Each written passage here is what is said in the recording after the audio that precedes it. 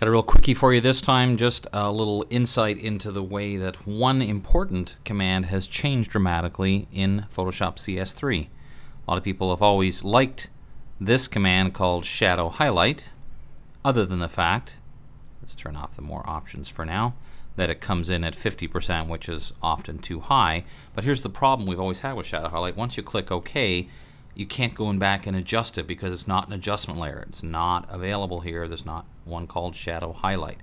So in the past, what we used to do was duplicate the background layer, apply shadow highlight to it,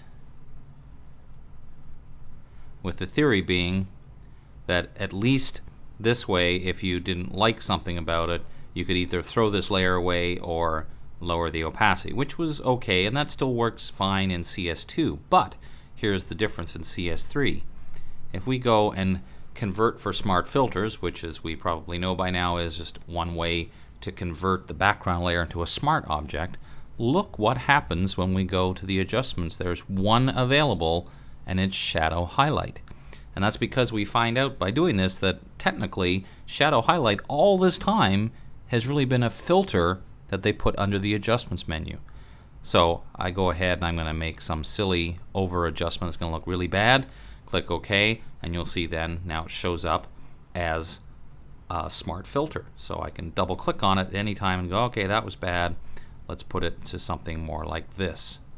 And of course it also means now it has an automatic layer mask just like it would if it was an adjustment layer. So really it's for all intents and purposes just like an adjustment layer except it's a smart filter. So just remember to convert to a smart object first and then you'll find that the only option available to you is shadow highlights. Check it out. It's a great way to take advantage of shadow highlight and add a high level of flexibility.